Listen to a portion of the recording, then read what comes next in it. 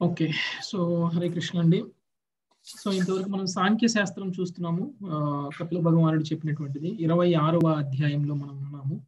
మూడవ స్కందం ఇరవై ఆరవ అధ్యాయం. యాభై ఒక్క శ్లోకాలు కంప్లీట్ చేసుకుందాం. ఈరోజు యాభై రెండవ శ్లోకం నుంచి చూద్దామండి. ఇంతకు ముందు చూసింది ఏంటి అంటే ఏ తత్వం నుంచి ఏ తత్వం ఎలా వచ్చింది వాటికి ఉన్నటువంటి లక్షణాలు ఏమిటి అనేటువంటి విషయాన్ని చూసాము. అందులో ఈ భౌతికమైనటువంటి తత్వాలు ఏవైతే ఉన్నాయో ఈ పంచభూతాల గురించి చెప్పారు. పంచభూతాల్లో ఏ ఏ పంచభూతాల్లో ఒక్కొక్క తత్వానికి ఎలాంటి లక్షణాలు ఉన్నాయి అనేటువంటి చూసాము అందులో భూమికి ఉన్నటువంటి లక్షణం అనేటువంటిది మిగిలినటువంటి అన్ని విషయాలకి ఉన్నటువంటి అన్ని గుణాలు కూడా అన్ని లక్షణాలు కూడా భూమిలో ఉంటాయి అనేటువంటి విషయాన్ని ఇంతకుముందు చూసాము సో ఇప్పుడు యాభై రెండవ శ్లోకం నుంచి స్టార్ట్ చేద్దాం. एतदण्डं विशेषाख्यम् एतदण्डं विशेषाख्यम् क्रमवृद्धै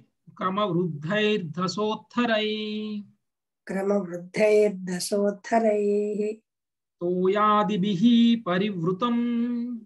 तोयादिभिः परिवृतम्। प्रधानेनावृतैर्बहिः। प्रधानेनावृतैर्बहिः। యత్ర లోకా వితానో అయం. యత్ర లోక వితానో అయం. రూపం భగవతో హరే. రూపం భగవతో హరే. ఈ బ్రహ్మాండము అంటే అండరూపమున గల విశ్వం.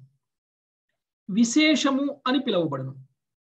దాని పొరలైనటువంటి జలము వాయువు అగ్ని ఆకాశము అహంకారము మహతత్వములు అనేవి ఒకదానికి మించినటువంటి ఒకటి ఆదిగా దళసరిగా ఉండను. ప్రతి పొరయు పూర్వపు పొర కనును పది రెట్లు పెద్దదిగా ఉండను. చివరి పొర ప్రధానముచే కప్పబడి ఉండను.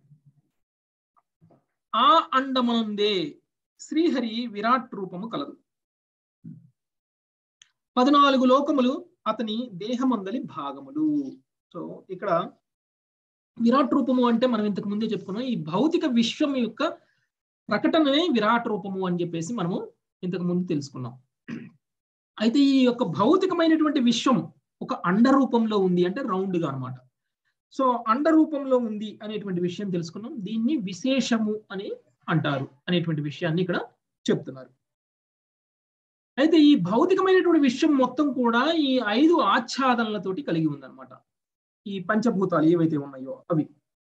అయితే ఈ ఈ అంటే ఒక్కొక్క పొరలాగా అనమాట జలము అనేటువంటిది మొదటి పొర. అంటే భూమికి పైన ఉన్నటువంటి పొర జలము జలము తర్వాత వాయువు వాయువు తర్వాత అగ్ని అగ్ని తర్వాత ఆకాశము ఆ పైన అహంకారము ఆ పైన మహతత్వము.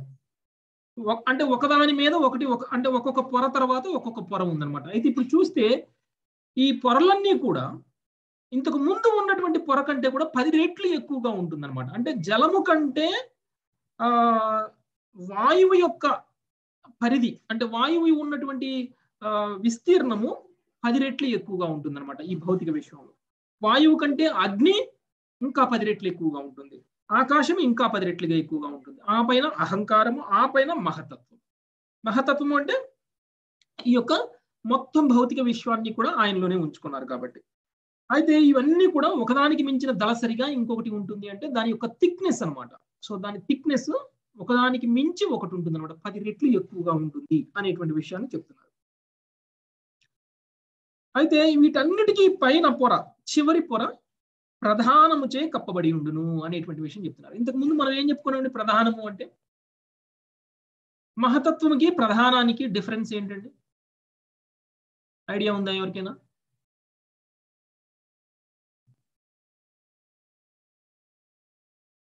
ప్రధానం అంటే ఏంటి? మహతత్వం అంటే ఏంటి? ఈ రెండింటికి మధ్య డిఫరెన్స్ ఏమిటి? మాతాజీ గుర్తుందా? హరే కృష్ణ సత్యవతి మాతాజీ కమిష్ మాతాజీ? ప్రధానం అంటే ప్రభుజీ మహతత్వం అంటేనే ఈ భౌతిక విశ్వం ప్రభుజీ. భౌతిక అంటే ఈ విశ్వంలో ఈ అండరూప ఈ బ్రహ్మాండమేమో ఒక విశేషము అనేసి అంటే. దాన్ని ఆ దాంట్లో ఇవన్నీ ఉంటాయి ప్రభుజీ. మహతత్వము అహంకారం అన్ని కలిపి ఉండే ఇక్కడ మహతత్వానికంటే కూడా పైన ప్రధానం ఉంది అని చెప్తున్నారు. మహతత్వం. కదా? అదే కదా ప్రభుజీ ప్ర- చివరి పొర మహతత్వం చివరి పొర దానికంటే. చివరి పొర ప్రధానము అని చెప్తున్నారు. ప్రధానం అంటే విశేషం అనుకుంటా ప్రభుజీ కాదా? యాక్చువల్గా ప్రధానానికి మహతత్వానికి డిఫరెన్స్ ఏంటంటే అండి ఈ భౌతిక విశ్వాన్ని భగవంతుడు సృష్టించినప్పుడు ముందు ప్రధానం అనేటువంటిది సృష్టింపబడింది అందులో త్రిగుణాలు లేవు. ఎప్పుడైతే త్రిగుణాల కలయిక కలిగిందో జరిగిందో అప్పుడు అది మహతత్వంగా ప్రకటమైంది అన్నమాట లేనిదేమో ప్రధానము. ప్రధానము. త్రిగుణాలతో కలయిక వల్ల జరిగినటువంటి విషయం ఏదైతే ఉంటుందో దాన్ని మహతత్వము అంటారు. చెప్పారు. ఓకే ఈ ఇవన్నీ కూడా ఒక్కొక్క పొర అన్నమాట. అయితే ఇందులోకి శ్రీహరి విరాట్ రూపము కూడా కలదు అని చెప్తున్నారు. అంటే ఇవన్నీ కలిపి అంటే ఇప్పుడు మనకి అర్జునుడికి శ్రీకృష్ణ భగవానుడు విరాట్ రూపాన్ని చూపించారు కదండి. అంటే సమస్త భౌతిక విశ్వాన్ని తనలోనే చూపించారు కదండి. సో ఇదంతా కూడా. తనలోనే ఉంది అని. ఇవన్నీ కూడా పద్నాలుగు లోకాలు ఏవైతే ఉన్నాయో ఆయన దేహంలోనే భాగము అని చెప్తున్నారు.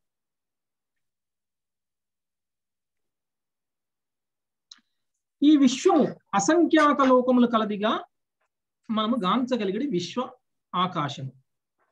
అండాకారముగా ఉన్నది. అండము చిప్పచే ఆవృతమై ఉన్నట్లు విశ్వము సైతము వివిధ పొరలతో ఆవరించబడి ఉన్నది. ఏ విధంగా అయితే గుడ్డుకి.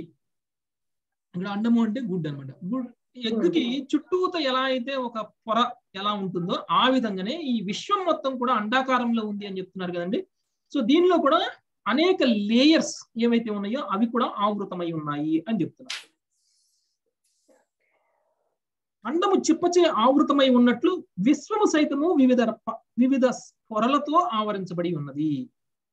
మొదటి పొర జలము తరువాతది అగ్ని తరువాతది వాయువు పిదప ఆకాశము చివరిగా ఉన్నది ప్రధానము. ఈ అండరూప విశ్వమనందే భగవానుని విరాట్ రూపము విరాట్ పురుషుని రూపమున కలదు. వివిధ లోకములు అతని దేహమందలి భాగములు. శ్రీమద్ భాగవతంలోని ద్వితీయ స్కంద ఆరంభమున ఇదివరకే ఈ విషయము వివరించబడినది. లోకములన్నీను విరాట్ రూపపు వివిధ దేహాంగములుగా భావించబడినవి. శ్రీకృష్ణ భగవానుని దివ్య రూపమును నేరుగా అర్చింపజాలని వారు ఆ విరాట్ రూపమును తలుచుచు అర్చింపమని బోధింపబడిది అధోలోకముకు పాతాళము భగవానుని పాదములుగా భావించబడ ధరణి అతని ఉదర భాగమునుగాను బ్రహ్మదేవుడు వసించు బ్రహ్మలోకము భగవాను యొక్క శిరముగాను భావించింది అంటే ఈ విరాట్ రూపంగా భగవంతుడు చెప్పినప్పుడు మనకి రెండవ స్కందంలో ఒక విషయం చెప్పారనమాట పాద భాగాల్లో పాతాళలోకం ఉంటుంది శిరస్సు భాగంలో బ్రహ్మలోకం ఉంటుంది ఉదర భాగంలో భూలోకం ఉంటుంది అనేటువంటి విషయం చెప్పారు. అంటే మొత్తం ముల్లోకాల గురించి చెప్తారు అంటే ఈ మధ్యలో కూడా కొన్ని లోకాలు ఉన్నాయి. మొత్తం కలిపి పద్నాలుగు లోకాలు. ఈ పద్నాలుగు లోకాలు కూడా భగవంతుడి యొక్క శరీరంలో భాగాలే అనేటువంటి విషయాన్ని ఇక్కడ చెప్తున్నారు అనమాట అంటే ఇప్పుడు మొత్తం ఈ మహతత్వ ఈ విరాట్ రూపం అనేటువంటి దాన్ని ఏం చెప్తున్నారు అంటే భౌ భగవంతుడు సృష్టించినటువంటి భౌతిక సృష్టిలో ఉన్నటువంటి ప్రతి లోకము కూడా అంటే మనం అనుకుంటున్నాం ఈ భూలోకం మాత్రమే భౌతికమైనది పైన ఉన్నటువంటి దేవతా లోకాలు లేకపోతే ఆ పైన ఉన్నటువంటి సప్తర్షుల లోకాలు లేకపోతే ఆ పైన ఉన్నటువంటి ఆ ఆ, బ్రహ్మదేవుడి లోకాలు ఇవన్నీ కూడా భౌతిక లోకంలో భాగం కాదు అవి శాశ్వతమైనటువంటి లోకాలు అని మనం ఏమైనా అనుకుంటామేమో ఆ భ్రమ మనకి ఇక్కడ తొలగిపోతుంది అనమాట. ఇక్కడ ఏం చెప్తున్నారు? ఈ భౌతిక లోకంలోనే పద్నాలుగు లోకాలు భాగము అని చెప్తున్నారు. అంటే ఎప్పుడైతే ప్రళయం సంభవిస్తుందో మొత్తం పద్నాలుగు లోకాలు కూడా మహతత్వంలోకి వెళ్ళిపోతాయి. కాబట్టి ఏది కూడా శాశ్వతమైనటువంటి లోకం కాదు. మనకంటే ఉన్నతమైనటువంటి లోకాలు పైన ఉన్నటువంటి ఏడు లోకాలు కూడా శాశ్వతం కాదు అనేటువంటి విషయం మనం అర్థం చేసుకోవాలి. శ్రీకృష్ణ భగవానుని దివ్య రూపము నేరుగా అర్చింపజాలని వారు ఆ విరాట్ రూపమును తలుచుచు అర్చింపమని బోధింపబడిది అంటే మనం కొన్ని కొన్ని మనకి యాక్చువల్గా ఈ ఆధ్యాత్మికంగా మనం చేస్తున్నటువంటి ప్రయాణంలో మనకి కొన్ని కొన్ని రియలైజేషన్స్ అనేవి వస్తుంటాయి అనమాట అంటే భగవంతుడికి సంబంధించినటువంటి రియలైజేషన్స్ దేహపరంగా ఉన్నప్పుడు అంటే దేహ స్థాయిలోనే మనం చేస్తున్నప్పుడు అంటే కర్మకాండ చేస్తున్నప్పుడు అప్పుడు మనం ఎలా చేస్తాము అంటే ఈ శరీరానికి సంబంధించినంత వరకే మనం మొత్తం అని అనుకొని ఈ శరీరానికి మంచి జరగాలి ఈ శరీరానికి ఆ ఆ ఎలాంటి కష్టము లేకుండా చూసుకోవాలి అప్పుడే నేను సుఖంగా ఉన్నట్లు అనేటువంటి భావనలో చేసేటువంటి అర్థం. సో అలాంటి అర్చనల ద్వారా మనకు వచ్చేటువంటిది ఏమిటి అని అంటే భౌతికమరమైనటువంటి సుఖం. సో ఇది ఒక రకమైనటువంటి రియలైజేషన్ ఇందులో కూడా అంటే ఈ రకంగా అర్చన చేసేటువంటి వాళ్ళు కూడా ఆ కొంతవరకు పుణ్యకర్మలే చేస్తూ ఉంటారు. అయితే ఎప్పుడైతే ఈ విధంగా పుణ్యకర్మలు చేస్తూ కొంతకాలం వాళ్ళ యొక్క ఆధ్యాత్మిక సాధన ఉంటుందో అంటే అప్పటికి వాళ్ళకి జ్ఞానం అనేది పరిపూర్ణ స్థాయిలో లేదు. ఉంటుందో అప్పుడు వాళ్ళు తెలుసుకుంటారు ఈ శరీరానికంటే మించినటువంటిది శరీరం కానిటువంటిది నేను అనేటువంటిది ఇంకొకటి ఉంది అది ఆత్మ అనేటువంటి జ్ఞానాన్ని పొందుతారు. అంటే ఆత్మ జ్ఞానం లెవెల్కి వెళ్ళిపోతారు. ఎప్పుడైతే ఇప్పుడు మనం యాక్చువల్గా చూస్తున్నాం కదండి కర్మయోగము అనేటువంటిది ఇప్పుడు భగవద్గీతలో కూడా మొదటి ఆరు అధ్యాయాలు చూస్తే కర్మయోగం చెప్తుంది అనమాట ఈ కర్మయోగంలో చేసేటువంటి కర్మలన్నీ కూడా కొంతవరకు భగవంతుడితోటి సమ్మిళితం కాకుండానే చేస్తున్నటువంటి కర్మ. అయితే ఇప్పుడు ఎప్పుడైతే మనకి జ్ఞానం అనేది పెరుగుతుందో అంటే నెక్స్ట్ లెవెల్కి వెళ్తాం అనమాట అంటే ఆత్మ లెవెల్కి వెళ్తాం. సో ఎప్పుడైతే ఆత్మ లెవెల్లో కనుక మనం ఎప్పుడైతే మనం జ్ఞానాన్ని పొందుతామో అప్పుడు మన యొక్క దృక్కోణం వేరుగా ఉంటుంది. సో అప్పుడు మన శరీరానికి సంబంధించినటువంటి విషయాల మీద కొంత ఆసక్తి తగ్గి ఆత్మకి సంబంధించినటువంటి విషయాల మీద ఆసక్తి పెరుగుతుంది. ఎప్పుడైతే అప్పుడు ఆధ్యాత్మిక సాధన ఆత్మస్థాయిలో ఉంటుందో అప్పుడు మనకి ఇంకా కొంత భగవంతుడి యొక్క రియలైజేషన్స్ అనేవి పెరుగుతూ ఉంటాయి. అప్పుడు మనకి ఏం తెలుస్తుందంటే ఆత్మ కంటే పైన ఇంకొక స్థాయి ఉంది అది పరమాత్మ. ఈ పరమాత్మ రూపంలో భగవానుడు మన అందరి శరీరాల్లోనూ ఉన్నాడు అనేటువంటి విషయం మనకు అప్పుడు తెలుస్తుంది. అనమాట ఎప్పుడైతే ఈ పరమాత్మ లెవెల్లో కనుక మనం వెళ్ళిపోయామో అప్పుడు మన యొక్క చేతనంలో మళ్ళీ మార్పు వస్తుంది. ఆ తర్వాత ఎంతకంటే పై స్థాయిలో ఉన్నటువంటి నిరాకార బ్రహ్మం గురించి మనకి తెలుస్తుంది. అంటే ఇంకా అంటే భగవంతుడికి సంబంధించినటువంటి జ్ఞానం అనేది ఇంకా పెరుగుతూ ఉంటుంది అనమాట సో ఆ పైన ఉన్నటువంటి నిరాకార బ్రహ్మానికి కూడా సోర్స్ ఏంటి అనేటువంటి విషయం అనేటువంటిది మనకి ఇంకా జ్ఞానంలో ఇంకా పరిపూర్ణత పొందుతున్న మనకి తెలుస్తుంటుంది అనమాట శ్రీకృష్ణ భగవానుడే ఆది. ఆయననే ఈ నిరాకార బ్రహ్మానికి కూడా సోర్సు. ఈ నిరాకార బ్రహ్మమే నిరాకార బ్రహ్మమే అల్టిమేట్ కాదు. లేదంటే పరమాత్మే అల్టిమేట్ కాదు. లేకపోతే ఆత్మే అల్టిమేట్ కాదు అనేటువంటి విషయం మనం జ్ఞానంలో ముందుకెళ్తున్న కొద్దికి మనకి తెలుస్తూ ఉంటుంది అనమాట ప్రభుజీ విరాట్ పురుషుడు అంటే కాదు. కారణదశ అనుకోవచ్చా ప్రభుజీ? విరాట్ పురుషుడు అంటే మీరు ఆ కారణోదక సాయి గారు కారణోదక గర్భోదక. సాయిగా భావించవచ్చు. ఎందుకంటే ఇప్పుడు గర్భోదక సాయి ఒక్కొక్క భౌతిక విశ్వానికి ఒక పరమాత్మ. ప్రభుజీ. ఇక్కడ లోకాలన్నీ ఉన్నాయని రాశారు కదా. లోకాలన్నీ పద్నాలుగు లోకాలు. పద్నాలుగు లోకాలు. ఓకే పద్నాలుగు లోకాలు మాత్రమే.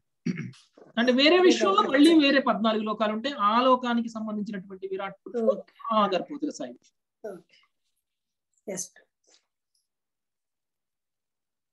సో అయితే ఇప్పుడు ఈ ఈ అర్చన లెవెల్స్ ఏదైతే ఉన్నాయో అంటే ఈ డైరెక్ట్గా మనం భగవంతుణ్ణే అంటే అన్నిటికంటే పై స్థాయిలో ఉన్నటువంటి భగవాను అర్చించేటువంటి స్థాయికి మనము చేరుకోవాలి అంటే మన యొక్క ఆధ్యాత్మిక ప్రగతి అనేది కొంత సమయం పడుతుంది. అంటే ఈ సాధన అనేటువంటి దానికి చాలా సమయం అనేది అవసరం. అందుకనే కృష్ణుడు కూడా భగవద్గీతలో అదే విషయం చెప్తారు. ఎన్నో జన్మల తర్వాత మాత్రమే వ్యక్తి శ్రీకృష్ణ భగవానుని అర్చన చేసేటువంటి స్థాయికి వస్తారు అని. సో అందుకని ఎందుకంటే భగవానుడి స్థాయికి మన జ్ఞానం ఎదగాలి అంటే మనం ఆధ్యాత్మిక సాధన అనేటువంటిది కొన్ని జన్మల పాటు చేయాలన్నమాట. సో ఒకవేళ మనం ఈ జన్మలో శ్రీకృష్ణ భగవాను అర్చించేటువంటి స్థాయికి స్వయంగా శ్రీకృష్ణ భగవానుడి యొక్క ద్విభుజ రూపాన్ని మనం అర్థించేటువంటి స్థాయికి వచ్చాము అంటే మనం అందరం కూడా అదృష్టవంతులు. భగవంతుడి యొక్క దివ్య రూపాన్ని నేరుగా మనం అర్పించగలుగుతున్నాము అనేటువంటి ఎప్పుడైతే మనకి ఆ స్థాయి వరకు మనం వెళ్ళలేదో అప్పుడు మనం చేయాల్సింది ఏంటి అంటే కనీసంగా ఈ విరాట్ రూపాన్ని అర్చించాలి అనేటువంటి అని చెప్తున్నారు ప్రభుపాదుల వారు ఇక్కడ. సో విరాట్ రూపాన్ని అర్చిస్తే ఆ తర్వాత స్థాయి వరకు మనం వెళ్ళగలుగుతాము. అందుకని కొంతమంది విరాట్ రూపాన్ని ధ్యానిస్తూ ఉంటారు. అధోలోకముకు పాతాళము భగవానుని పాదములుగా భావించబడం ధరణి అతని యొక్క ఉదర భాగముగాను బ్రహ్మదేవుడు వసించు బ్రహ్మలోకము భగవాన్ యొక్క శిరము భాగముగాను భావించబడింది ఈ విరాట్ పురుషుడు భగవానుని యొక్క అవతారం బ్రహ్మ సంహిత ఎందు ద్రోపరచబడినట్లు భగవానుని ఆది రూపమే శ్రీకృష్ణుడు అంటే ఆది పురుషము. విరాట్ పురుషుడు సైతము పురుషుడే అయినను ఆది పురుషుడు మాత్రం కాదు. ఆది పురుషుడు శ్రీకృష్ణుడే. ఈశ్వర పరమ కృష్ణ సచిదానంద విగ్రహ అనాదిరాదిర్ గోవింద. భగవద్గీత ఎందును శ్రీకృష్ణ భగవానుడు ఆది పురుషునిగా వారిని అంగీకరింపబడినాడు. నాకన్నను అధికుడు ఎవ్వరూ లేడు అని ఆ దేవదేవుడు దాని ఎందు పలికరు భగవానుని విస్తారములు అసంఖ్యాకములుగా కలవు. వారందరూ పురుషులే భోక్తలే. అయినను విరాట్ పురుషుడు కాని పురుషావతారములు కానీ కారణోదక సాయి విష్ణువు గర్భోదక సాయి విష్ణువు క్షీరోదక సాయి విష్ణువు. ఏ ఇతర విస్తారములు కానీ ఆది మాత్రం కావు. అంటే ఇప్పుడు మనం తెలుసుకోవాల్సింది ఏమిటి అంటే ఏంటిది శాశ్వతము ఏంటిది శాశ్వతం కాదు అనేటువంటి విషయాన్ని మనం తెలుసుకోవాలి. ఎప్పుడు వస్తుంది మనకి ఇది అంటే జ్ఞానం అనేది పెరిగినప్పుడు. మనం ఇప్పుడు ఒకసారి ఆలోచిస్తే మనకి ఇంతకు ముందు ఈ భౌతిక విశ్వాలన్నీ కూడా భగవంతుడి యొక్క ఉచ్ఛ్వాస నిశ్వాసంలోనే జరుగుతుంది అనేటువంటి విషయం తెలుసుకున్నాం అంటే భగవంతుడు ఉచ్ఛ్వాసం చేసినప్పుడు అంటే గాలి పీల్చినప్పుడు మొత్తం భౌతిక విషయం మొత్తం కూడా లోపలికి వెళ్ళిపోతుంది. ఎప్పుడైతే భగవంతుడు గాలి వదులుతారో అప్పుడు ఈ భౌతిక విషయాలన్నీ కూడా బయటకు వస్తాయి. అంటే మనం అర్థం చేసుకోవాలంటే ఈ అంటే కారణోదక సాయి విష్ణువుగా ఆయన చేస్తున్నటువంటి ఉచ్ఛ్వాస నిశ్వాసలలోనే ఈ భౌతిక విశ్వాలన్నీ కూడా రావడం పోవడం అనేది జరుగుతుంది.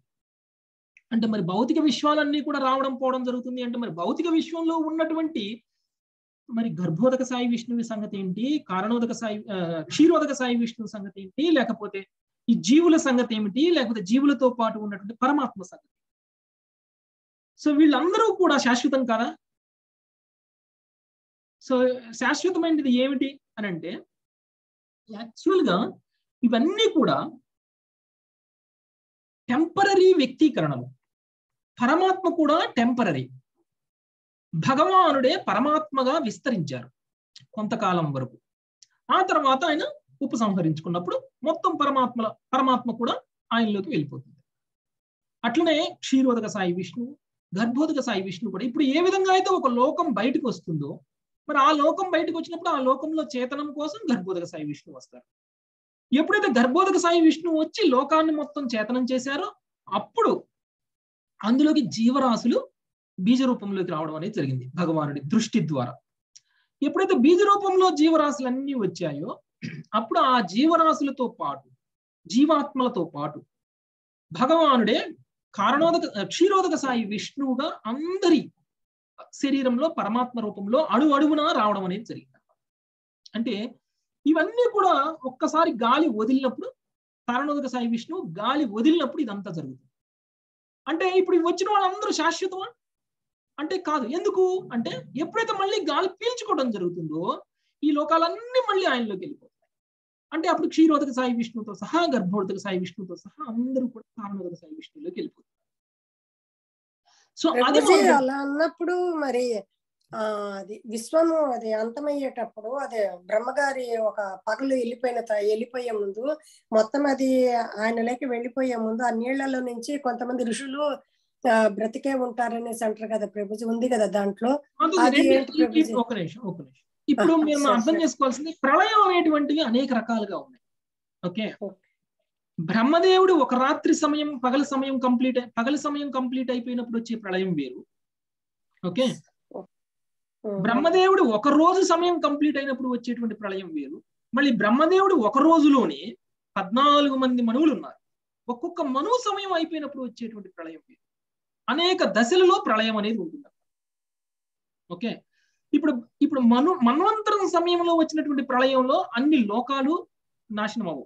ఉన్నతమైనటువంటి లోకాలు బ్రహ్మలోకం తపోలోకం ఈ లోకాలన్నీ అంటే పైన ఉన్నటువంటి లోకాలన్నీ ఉంటాయి.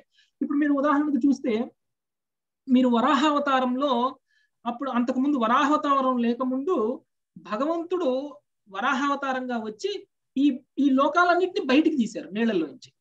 ఆయన కథ మదజీ అప్పుడు మరి అప్పుడు బ్రహ్మలోకం ఉంది. అది ఉన్నట్లేగా? అప్పుడు బ్రహ్మలోకం ఉంది. అప్పుడు మళ్ళీ ఇంకా తక్కువ లోకం ఉంది. అప్పుడు ఇంకా ఉన్నత లోకాల్లో ఉన్నటువంటి జనులు ఉన్నారు. అప్పుడు ఈయన భూమిని ఆ కారణోదక జలంలో నుంచి బయటికి తీయడానికంటే ముందు వాళ్ళందరూ కూడా ఆయన్ని కీర్తిస్తారు. దేవతలందరూ కీర్తిస్తారు. అంటే కొన్ని రకాల ప్రళయాల్లో ఉత్తమ లోకాలు నాశనం కావు. ఓకే. అంటే ఇప్పుడు బ్రహ్మ రాత్రి పగలు సమయంలో అయ్యే వచ్చేటువంటి ప్రళయాలు లేక మన్వంతర సమయాల్లో వచ్చేటువంటి ప్రళయాలలో ఇదంతా కూడా నాశనం అవుతుంది. అంటే ఒక లెవెల్ ఒక లెవెల్ ఏమిటి అంటే ఇప్పుడు ఒకవేళ భౌతిక విశ్వం మొత్తం సర్వ మొత్తం కూడా ఉపసంహరించుకోవాలి అని అంటే డైరెక్ట్గా కారణోదక సాయి విష్ణువులోకి వెళ్ళిపోదు. ఓకే? గర్భోదక సాయి విష్ణువు దగ్గర ఓకే. అదొక రకమైనటువంటి ప్రళయం. ఓకే? ఎప్పుడైతే గర్భోదక సాయి విష్ణువు కూడా కారణోదక సాయి విష్ణువులోకి వెళ్ళిపోతారో అప్పుడు వచ్చేటువంటి ప్రళయం ఇంకా పూర్తి పూర్తి ప్రళయం అనమాట అది ఎప్పుడు వస్తుంది అంటే బ్రహ్మ యొక్క వంద సంవత్సరాల కాలం పూర్తయిన తర్వాత వచ్చేటువంటి ప్రళయం. ఓకే మాతాజీ? అర్థమైంది ప్రభుజీ. క్లియర్ కాబట్టి ఇవన్నీ కూడా ఆ శాశ్వతమైనవి కావు. ఇవన్నీ కూడా టెంపరీ టెంపరీ వ్యక్తీకరణలు. అనేటువంటి విషయం మనకు అర్థం కావాలి. సో ఇక్కడ విరాట్ పురుషుడి అవతారం కూడా టెంపరీ వ్యక్తీకరణే. అందుకనే మా విరాట్ పురుషుడు భగవానుడే స్వయం కానీ అది కూడా. శాశ్వతం కాదు. క్షీరోదక సాయి గర్భోదక సాయి విష్ణువు విరాట్ పురుషుడు క్షీరోదక సాయి విష్ణు. ఇక్కడ వరకు చదివాం వారందరూ శ్రీకృష్ణుడు ఆది అంగీకరింపబడినాడు. వారందరూ పురుషులే అక్కడి నుంచి చదువుదాం మాతాజీ. ఉమ్. అయినను విరాట్ పురుషుడు కానీ పురుషావతారములు కానీ పురుషావతారములు అంటే మూడు పురుషావతారాలు. కారణోదక సాయి విష్ణువు గర్భోదక సాయి విష్ణువు క్షీరోదక సాయి విష్ణువు. ఏ ఇతర విస్తారములు కానీ ఆది మాత్రం కావు. అంటే సోర్స్ వాటికి కూడా సోర్స్ ఉంది అని చెప్పడం. ప్రతి విశ్వమందును గర్భోదక సాయి విష్ణువు విరాట్ పురుషుడు క్షీరోదక సాయి విష్ణువు కలరు. అందులోని విరాట్ పురుషుని అవతారమే ఇచ్చట వర్ణితమైనది. దేవదేవుని గూర్చినటువంటి అవగాహన తక్కువగా ఉన్నవారు ఆ విరాట్ రూపమును చింతించవచ్చు. అదే శ్రీమద్ భాగవతం నందును ఉపదేశించబడింది. విశ్వపు పరిమాణము ఇచ్చట అంచనా వేయబడినది. దాని బాహ్య పొరల జలము వాయువు అగ్ని ఆకాశము అహంకారము మహతత్వములతో చేయబడినవి. అంతేకాక ప్రతి పొర కూడా పూర్వము ఉన్నటువంటి దానికన్నను పది రెట్లు పెద్దది అయి ఉన్నది. విశ్వపు లోపలి భాగమును ఏ శాస్త్రవేత్త కాని మరి ఎవ్వరు గాని గణింపజాలరు. ఆ భాగము పైన ఏడు తొడుగులు కలవు. ఒకదానికి మించి ఇంకొకటి పది రెట్లు అధిక పరిమాణము కలది అయి ఉన్నది. జలావరణము విశ్వపు వ్యాసము కనును పది రెట్లు అధికముగా కలదు. అగ్ని ఆవరణము జలావరణము కనును పది రెట్లు కలదు. అదే విధంగా వాయువు ఆవరణము అగ్ని ఆవరణం కన్నను పది రెట్లు పెద్దది. ఈ కొలతలు మానవుని చిన్న మస్తిష్కానికి ఊహాతీతం. అంటే ఇప్పుడు శాస్త్రవేత్త ఈ విషయం గురించి కనుక పరిశోధన చేయాలి అని మొదలు పెడితే వాడి వల్ల సాధ్యమయ్యేటువంటి పనే కాదు అనేటువంటి విషయం ఇక్కడ మనకు అర్థమవుతుంది. ఈ వర్ణనము అండమును పోలిన ఒక విశ్వ విశ్వముదే విశ్వముదే అని ఇచ్చట తెలపబడింది. నిజమునకు దానితో పాటు అసంఖ్యాకములైనటువంటి విశ్వములు కలవు. వానిలో ఎన్ని వానిలో కొన్ని ఎన్నియో రెట్లు పెద్దదైనవి. అంటే ఇప్పుడు మనం ఒక విశ్వం గురించి మాట్లాడుతున్నాం. ఇలాంటి విశ్వాలు అనేకం ఉన్నాయి మాట ఈ ఈ ఈ లోకంలో.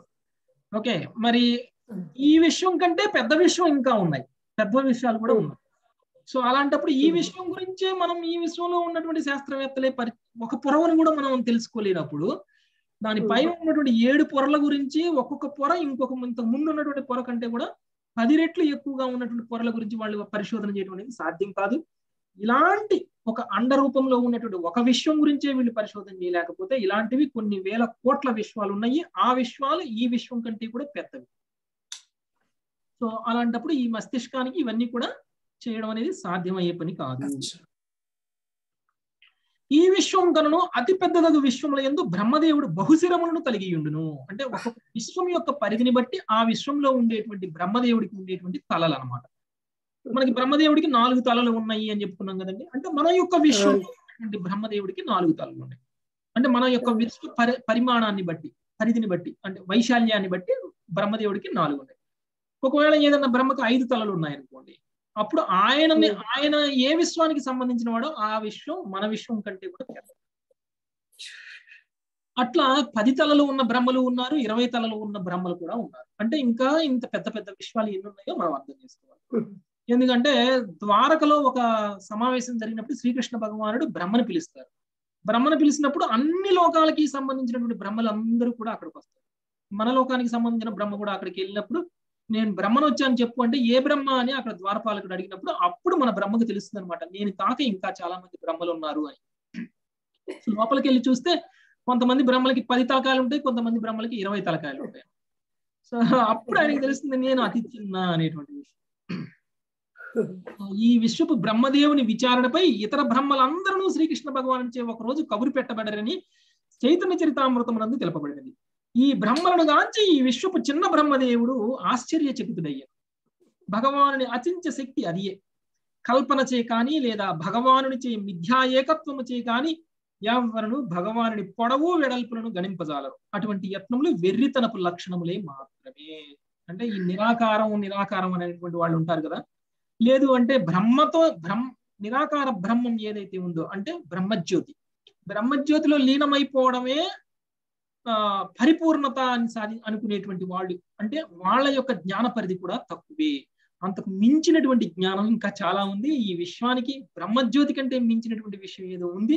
అదే శ్రీకృష్ణ భగవానుడు అనేటువంటి విషయం వాళ్ళు తెలుసుకోవడానికి సమయం పడుతుంది. ప్రభుజీ. ఇప్పుడు ఒక ఈ ఒక అండాకారం ఒక విశ్వాన్ని గురించి టెన్ టెన్ ఎక్కువ అధికంగా ఉంటుంది కదా ప్రభుజీ. ఒక్కొక్క ఒక్కొక్క లేయరు పొర ఒక్కొక్క పొర. ఒక్కొక్క పొర ఒక్కొక్క లేయరు. అట్లాగే ఇంకొక విశ్వానికి ఈ విశ్వానికి కూడా మధ్యలో వాటర్ లేకపోతే దూరాలు కూడా తేడా ఉంటుందా ప్రభుజీ? అంటే ఇప్పుడు ఇప్పుడు లాస్ట్ పొర దాటిన తర్వాత మళ్ళీ ఆ వేరే విశ్వంలో మొదటి పొర ఏదైతే లాస్ట్ పొర ఏదైతే ఉంటుందో ఈ రెండు టచ్ అయ్యి అంటే దూరంగా టచ్ అవ్వవు టచ్ అవ్వవు. కొంత గ్యాప్ ఉంటుంది ఉంటుంది. అక్కడ కూడా మరి ఈ- కారణోదక జలం ఉంటుంది ఆహా, కారణోదక జలం కారణోదక జలం ఎందుకంటే ఇది మొత్తం కూడా కారణోదక జలంలోనే కదా ఉంది. కారణోదక సాయి విష్ణువు నుంచే కదా వస్తుంది ఇదంతా. ఇన్ని తెలుసుకున్నామంటే చైతన్య మహాప్రభు లేలే అసలు. ఆయన చెప్పినయే ప్రభు ఇంత. చాలా సారీ హిరణ్మయాదండ కోశాద్ హిరణ్మయా దండ కోశాద్ ఉత్థాయ సలిలేశయాత్ ఉత్థాయ సలిలేశయాత్ సమావిశ్య మహాదేవో తమావిశ్య మహాదేవో బహుదా నిర్భిభే నిర్భిభే బహుదా నిర్భిభేదకం బహుధా నిర్భిభేదకం విరాట్ పురుషుడు అంటే మహదేవుడు జలమునందున్నటువంటి ఆ హిరణ్యమయ అండమునందే నిలిచి ఉండి దానిని పలు శాఖలుగా విభజించను. అంటే ఈ విరాట్ పురుషుడు అంటే విరాట్ పురుషుడు అంటే ఈ జలంలోనే ఉండి పలు శాఖలుగా ఈ విశ్వాన్ని ఈ అండాన్ని విభజించారు అనేటువంటి విషయం చెప్తారు. అంటే ఈ భౌతిక విశ్వం మొత్తం కూడా ఎలా తన యొక్క రూపాన్ని పొందింది అనేటువంటి విషయాన్ని తెలియజేస్తున్నారు. నిరభిద్యతాస్య ప్రథమం.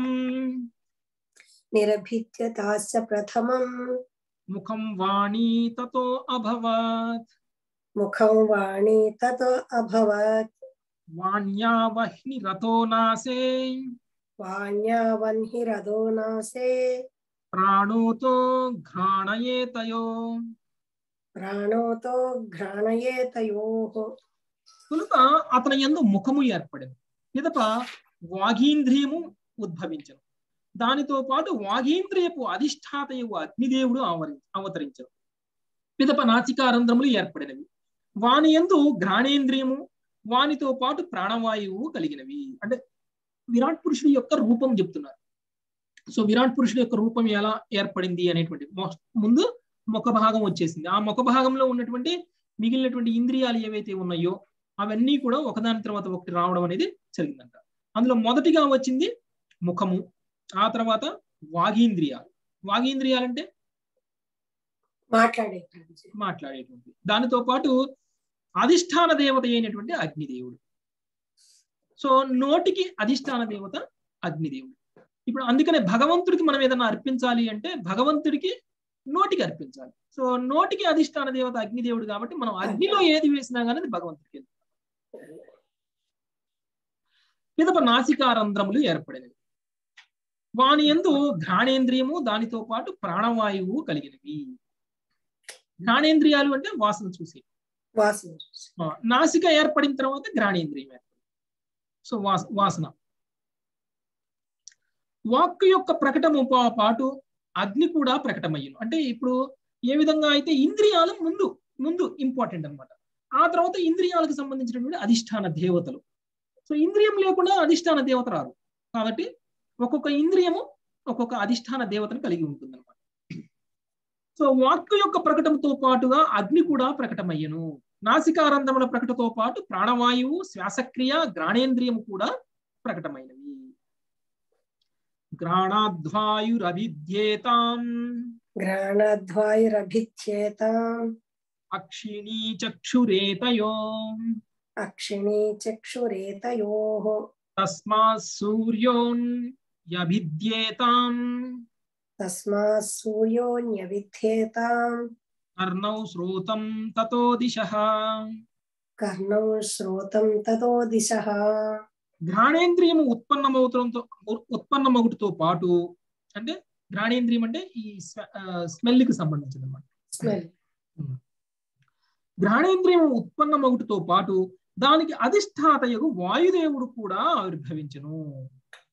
పిమ్మట విరాట్ రూపమునందు నేత్రగోళములు మరియు వాని యందు నేత్రేంద్రియములు ఏర్పడినవి. అంటే విరాట్ రూపంలో కళ్ళు అనమాట నేత్రేంద్రియముతో పాటు దానికి అధిష్టాన దేవత అయినటువంటి సూర్యదేవుడు ప్రత్యక్షమయ్యను. అంటే కళ్ళకి అధిష్టాన దేవత సూర్యుడు. అందుకని సూర్యుడు. లేకుండా మనం కళ్ళున్నా గానీ చూడలేము పిమ్మట విరాట్ పురుషుని యందు కర్ణములు మరియు వాని యందు శ్రవణేంద్రియములు ఏర్పడినవి. శ్రవణేంద్రియము ఉత్పన్నమగుటితో పాటు దిగ్గేవతలు అంటే దిక్కుల అధిష్టాతలు ప్రత్యక్షమైరి. ఎప్పుడైతే శ్రవణేంద్రియాలు వచ్చినాయో అప్పుడు వాటి యొక్క అధిష్టాన దేవతలు అయినటువంటి దిక్కుల యొక్క అధిష్టాన దేవతలు ఎవరైతే ఉంటారో దిగ్వే దిగ్దేవతలు అంటారు. సో వాడు రావడం అనేది జరిగింది. అంటే ఏ విధంగా దేవతలు ఉద్భవించారు? ఈ దేవతలందరూ ఒక్కటి ఆలోచించండి. ఇప్పుడు చెప్తున్నటువంటి దేవతలందరూ సూర్యుడు కానీ అగ్ని కానీ వాయువు కానీ దిగ్దేవతలు కానీ ఇప్పుడు ఇంతవరకు దేవతల గురించి చెప్పడం అనేది జరిగింది. వీళ్ళందరూ కూడా విరాట్ పురుషుడి యొక్క శరీరంలో భాగాలు. సో అది మనం అర్థం చేసుకోవాలి. విరాట్ రూపపు వివిధ దేహాంగములు ఏర్పడటం గూర్చి ఆ దేహాంగముల అధిష్టాన దేవతల ఆవిర్భావం గూర్చి ఇచ్చట వర్ణింపబడి తల్లి గర్భమునందు శిశువునకు క్రమక్రమముగా వివిధ దేహాంగములు వృద్ధి అగునట్లు విశ్వ గర్భమున విరాట్ రూపము వివిధ విధ సాధన సామాగ్రిని ఉత్పత్తి చేయు ఇంద్రియములు మరియు వాటి అధిష్టాన దేవతలు ఉత్పన్నమగుదు విరాట్ రూపపు చక్షువులు ప్రకటమై పిదపే సూర్యుడు ఆవిర్భవించినాడు అని వచనము శ్రీమద్ భాగవతపు ఈ శ్లోకం నందు సమర్థించబడింది. అంటే విరాట్ రూపంలో ఉన్నటువంటి కళ్ళు లేకుండగా సూర్యుడు వచ్చి ఉండేవాళ్ళే కాదు. అంటే సూర్యుడికి మూలం విరాట్ పురుషుడు. ఆ విషయం మనం అర్థం చేసుకోవాలి. ఈ శ్లోకం వర్ణిస్తుంది. ఏమని అంటే విరాట్ రూపంలో ఉన్నటువంటి కళ్ళు ఏదైతే ఉన్నాయో అవే సూర్యుడి ఆవిర్భవించటానికి మూలము అనేటువంటి విషయం. బ్రహ్మ సంహితము కూడా దానిని సమర్థిస్తుంది. అనగా సూర్యుడు విరాట్ రూపపు చక్షువులపై ఆధారపడి ఉన్నారు. సూర్యుడు దేవదేవుడకు శ్రీకృష్ణుని చక్షువు అని కూడా బ్రహ్మ సంహిత ఎందు పలికబడింది. యచ్చక్షురేష సవిత. అంటే సవిత అనగా సూర్యుడు అని భావము. సూర్యుడు దేవదేవుని యొక్క నేత్రము. నిజమునకు ప్రతిదియు విరాట్ రూపముతోనే సృజింపబడినది. ప్రకృతి కేవలం మూలతత్వములను సరఫరా చేయునది మాత్రమే. భగవద్గీత ఎందు ధృవపరచబడినట్లు సృష్టి కార్యము నిజమునకు దేవదేవుని చేతనే చేయబడినది. మయాధ్యక్షేన ప్రకృతి సూయతే సచరాచరం. నా అధ్యక్షత ఎందే ప్రకృతి సృష్టి అందలి చరాచరములు సృజింపబడుతున్నవి అంటే భగవద్గీతలో శ్రీకృష్ణ భగవానుడు కూడా అదే చెప్పారు. నా నా అధీనంలోనే ప్రకృతి ఉంది నా అధ్యక్షతలోనే ఈ చరాచరాలన్నీ కూడా సృష్టింపబడుతున్నాయి అనేటువంటి విషయాన్ని శ్రీకృష్ణ భగవానుడు చెప్పారు. సో ఇక్కడ కూడా మనకి ఈ శ్లోకం ద్వారా కూడా మనకు అదే అర్థమవుతుంది. భగవానుడి నుంచే మొత్తం దేవతలు కూడా వస్తున్నారు. నిర్భిభేద విరాజస్త్వ నిర్విభేద విరాజస్త్వా గోమశ్మాస్ గోమశ్మాశ్వరధయస్తత గోమశ్మస్వాదయస్తతః తత ఔషధయశ్చాసం తత ఓషధయశ్చాసం శిష్ణం నిర్భివిదే తత కృష్ణం నిర్భివిదే తతః పిదప విరాట్ పురుషుడు తన చర్మమును ఉత్పన్నము చేసను. ఆ పిదప రోమములు గడ్డము మీసములు ప్రకటమయ్యను. అటు పిమ్మట సమస్త ఔషధములు ప్రకటమైనవి పిదప ఉపస్థేంద్రియ కూడా ఉత్పన్నమయ్యను. అంటే ఆయన శరీరంలో ఉన్నటువంటి వివిధ భాగాలు. మనకి ఇప్పుడు మన శరీరంలో ఉన్నటువంటి ఏవైతే అనేక రకాల ఇంద్రియాలు ఏవైతే ఉన్నాయో జ్ఞానేంద్రియాలు కర్మేంద్రియాలు పది రకాల ఇంద్రియాలు. ఈ ఇంద్రియాలు ఏ విధంగా ఉన్నాయంటే భగవంతుడి యొక్క ఇంద్రియాలకి కోరిక కలిగినప్పుడు ఆ భగవంతుడు యొక్క ఇంద్రియంలోంచి మిగిలినటువంటి దేవతలు రావడం అనేది జరిగింది. ఆ దేవతల ద్వారానే మళ్ళీ మనం ఈ భౌతిక లోకంలోకి ఆ భగవంతుడి ద్వారానే భౌతిక లోకంలోకి మనం కూడా రావడం అనేది జరిగింది అనమాట చర్మమే స్పర్శకు స్థానము. ఔషధులు ఉత్పత్తిని నియంత్రించు దేవతలే స్వగింద్రియపు అధిష్టాన దేవతలు. ఔషధ ఉత్పత్తిని అంటే ఇప్పుడు ఔషధ ఉత్పత్తిని నియంత్రించేటువంటి దేవతలు ఎవరైతే ఉంటారో వాళ్ళు ఆ భగవంతుడి వాళ్ళు ఈ చర్మానికి అధిష్టాన దేవతలు అన్నమాట. అంటే అశ్విని కుమారులు కావచ్చు. రేతస్తస్మాధాప ఆసన్ని రేతస్తస్మాదాప అసన్నిరభిజ్య అంతవరకేనా ప్రభు అభిద్యత ఆసన్నిర్ అభిజ్యత వైగుదం బుధాదపానో అపానాశ్చ. ఉదాదపానో అపానాశ్చ. మృత్యుర్లోక భయంకర మృత్యుర్లోక భయంకర దాని పిమ్మట వీర్యము మరియు జలమునకు అధిష్టాన దేవత ప్రకటమయ్యం. పిదప గుదము మరియు తదింద్రియము జన్మించినవి. అటు పిమ్మట విశ్వమునంతటిని భయమును కలిగించు మృత్యుదేవత ఆవిర్భవించును. ఇవన్నీ వచ్చిన తర్వాత మృత్యుదేవత వచ్చారు. వీర్యస్ఖలన శక్తియే మృత్యు కారణము అని ఇచ్చట అవగతమగుతున్నది కనుకనే దీర్ఘకాల జీవితము కోరు యోగులు మరియు ఆధ్యాత్మిక వాదులు వీర్యస్ఖలనము స్వచ్ఛందముగా నిరోధించరు మనిషి ఎంత అధికముగా వీర్యస్ఖలనము నిరోధించినచో అంత అధికముగా మృత్యు సమస్య నుండి దూరుడగు ఈ విధానం ద్వారా మూడు వందల సంవత్సరములు లేదా ఏడు వందల సంవత్సరములు జీవించ యోగుల యోగులు ఎందరో కలరు. వీర్యస్కరణమే భయావాహము మృత్యువునకు కారణము అని శ్రీమద్ భాగవతమున ఇచ్చట స్పష్టంగా తెలుపబడింది. మనుషుడు ఎంత అధికముగా మైదున భోగమునకు అలవాటు పడినచో అంత అధికముగా శీఘ్రగతిన మృత్యువు అతపడును సో ఎందుకంటే మృత్యుదేవత వీర్యం వచ్చిన తర్వాత వచ్చింది కాబట్టి. అంటే దాని అర్థం వీర్యస్కలనం ఎక్కువగా జరిగితే మృత్యువుకి దగ్గర పడుతున్నట్టు హస్తౌచ నీరభీథ్యేతాం హస్తౌ చ నిరభిజ్యేతాం బలం తాభ్యాం తతః స్వరాట్. బలం తాభ్యాం తతస్వరాట్ పాదౌ చ నిరభిధ్యేతాం. పాదౌ చ నిరభిధ్యేతాం. గతిస్తాభ్యాం తతో హరిః. గతిస్తాభ్యాం తతో హరిః. పిదప విరాట్ రూపపు రెండు హస్తములు ప్రకటమైనవి. వాటితో పాటు వస్తువులను పట్టుకునే శక్తి విడిచడి శక్తి అటు పిమ్మట ఇంద్రుడు ప్రకటమయ్యను అంటే చేతులు ఉద్భవించినప్పుడు చేతులకి అధిష్టాన దేవత ఇంద్రుడు. ఇంద్రుడు ప్రకటమయ్యను తదనంతరము పాదములు వాటి వలన గతిశక్తి ఆ పిదప విష్ణువు ప్రకటమయ్యను. సమస్తమునకు అధిష్టాన దేవత ఇంద్రుడు. సారీ హస్తములకు అధిష్టాన దేవత ఇంద్రుడు. చలనమునకు అధిష్టాన దేవత విష్ణువు. విరాట్ పురుషుని పాదముల ప్రకటములతో విష్ణువు ఆవిర్భవించను. నాడ్యో అస్య నిరభిద్యంత నాడ్యో అస్- అస్య నిరభిజ్యంత తాభ్యో లోహితమావృతం. తాభ్యో లోహితమాభృతం నద్యస్తత సమభవన్. నద్యస్తతః సమభవన్ ఉదరం నిరభిద్యత ఉదరం నిరభిద్యతః విరాట్ రూపముందు నాడులు ఆ పిదప రక్తము ప్రకటమైనవి వాటి ప్రకటముతో నదులు అంటే నాడుల యొక్క అధిష్టాన దేవతలు ప్రకటమైనవి పిమ్మట ఉదరము ఏర్పడినవి అంటే నరాలలో ప్రవహించేటువంటి రక్తం ఏదైతే ఉందంటే నరాలకి అధిష్టాన దేవత నదులు నదులు అనమాట సో అందుకనే నదులకి పూజ చేస్తే నరాలకు సంబంధించినటువంటి వ్యాధులు నయమైతాయి. సో విరాట్ రూపంలో నాడులు ఆ పిదప రక్తము ప్రకటమైంది. దానికి అధిష్టాన దేవతలైనటువంటి నదులు ఏర్పడ్డాయి. ఆ తర్వాత ఉదరం ఏర్పడింది అని చెప్తున్నారు. రక్తనాడులు నదులతో పోల్చబడినవి. విరాట్ రూపమందు నాడులు ప్రకటమైనంతనే వివిధ లోకములయందు నదులు కూడా ప్రకటమైనవి. నదులు అధిష్టాన దేవతయే నాడీ మండలమునకు కూడా అధిష్టాన దేవత. నాడి బలహీనతచే బా బాధపడు వారికి నాడి బలహీనతచే బాధపడు వారికి ప్రవహించు నదిలో తలమునకుల స్నానము ఆయుర్వేద వైద్య విధానముగా ఉపదేశితమవుతుంది అంటే నదిలో స్నానం చేస్తే నరాలకు సంబంధించినటువంటి వ్యాధులు నాడి నాడులకు సంబంధించినటువంటి వ్యాధులు ఏమన్నా ఉంటే కనుక టైం అయితే ఆయుర్వేదం కూడా అదే వైద్యం చెప్తుంది. క్షుత్ పిపాసే క్షుత్పిపాసే క్షత్పిపాసే సముద్రస్వేత యోరభూత్. సముద్రస్వేత యోరభూత్. ఆతాస్య హృదయం భిన్నం. తథాస్య హృదయం భిన్నం. హృదయాన్మన ఉత్తితం హృదయాన్మన ఉత్థితం తదనంతరము క్షుత్పిపాసలు ఉత్పన్నమైనవి. వాటితో పాటు సముద్రములు ప్రకటమయ్యను. అటు పిమ్మట హృదయము ప్రకటము కాగా దానితో పాటు మనస్సు ప్రకటమయ్యను. సో ఏ విధంగా? క్షుత్పిపాసలు అంటే ఆకలి దప్పికలు. సో అవి మొదలైనవి వాటితో పాటు సముద్రములు ప్రకటమైనవి.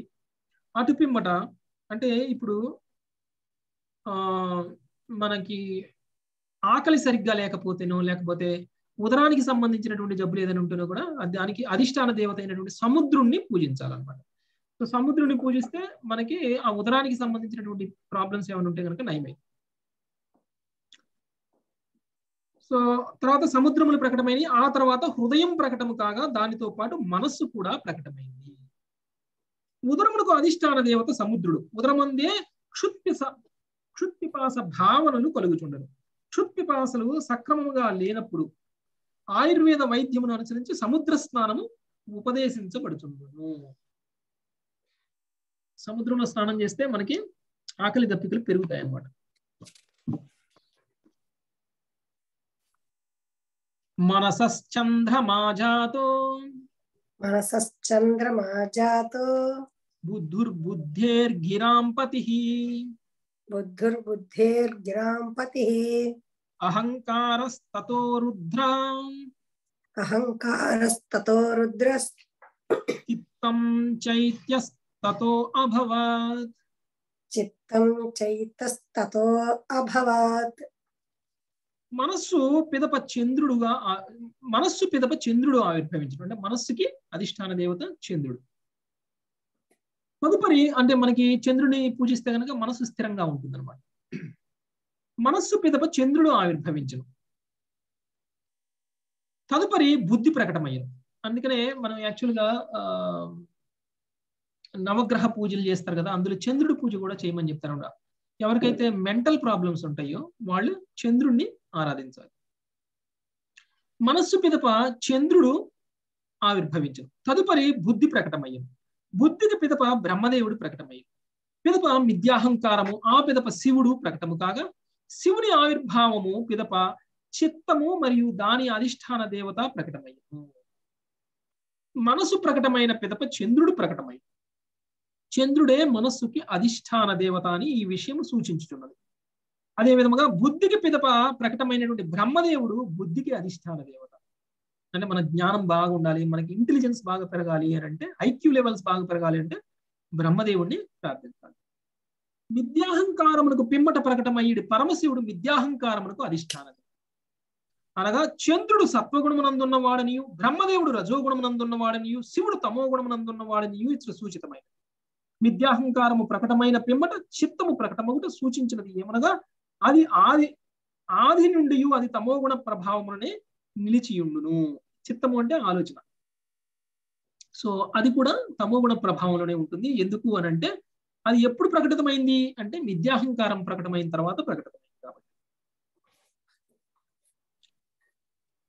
కనుక జీవుడు తన చిత్తమును పవిత్రీకరించుకున్నట ద్వారా తనను తాను పవిత్రుని కావించుకునవలను. ఆ పవిత్రీకరణ విధానమే కృష్ణ భక్తి రసా భావనము. చిత్తము శుద్ధి పడినంతనే మిథ్యాహంకారం నశించిపోను. అంటే ఇప్పుడు మన చిత్తము శుద్ధి పడాలి అని అంటే మన కర్మలు కృష్ణ భక్తి భావనలో ఉండాలి. సో కృష్ణ భక్తి భావన ఒక్కటే మన చిత్తాన్ని శుద్ధిపరచుకునేటువంటి మార్గము అనేటువంటి విషయం ఇక్కడ చెప్తున్నారు. సో శ్రీ చైతన్య మహాప్రభు ఈ విషయమును తమ శిష్టాష్టకమునందు ధృవపరిచరి. హరే కృష్ణ మహామంత్రమును కీర్తించడం వలన కలిగిన మొదటి ఫలితముగా చిత్తమునందలి ధూళి తొలగిపోయి భవా భవానల జ్వాల ఒక్క మారుగా అణిగిపోవను అని ఆయన పలికిరి. భవానలమునందు భవానలమునకు కారణము మిథ్యాహంకారమే. కనుక మిథ్యాహంకారము తొలగినంతనే మనుషుడు తన నిజమైనటువంటి ఉనికిని గుర్తించగలడు. ఆ సమయమున అతడు మాయాబంధము నుండి నిజముగా ముక్తిని పడైను. ఆ విధంగా మిథ్యాహంకారపు బంధము నుండి ముక్తుడైనంతనే మనుషుని బుద్ధి కూడా పరిశుద్ధమగును. పిదప అతని మనస్సు సర్వదా శ్రీకృష్ణ భగవాని పాదపద్మముల చెంతనే నిలవగలదు. పూర్ణ పురుషోత్తముడు శ్రీకృష్ణ భగవానుడు నిండు పున్నమి నాడు గౌరచంద్రుడిగా ఆవిర్భవించినాడు. అంటే కృష్ణ భగవానుడే నిండు పున్నమి రోజు చైతన్య మహాప్రభువుగా ఆవిర్భవించారు. అందుకని ఆయన గౌరచంద్రుడు అన్నారు అనమాట. అంటే కృష్ణ భగవానుడు చైతన్య భగవానుడిగా ఆవిర్భవించినప్పుడు గౌర అంటే బంగారపు రంగు అనమాట.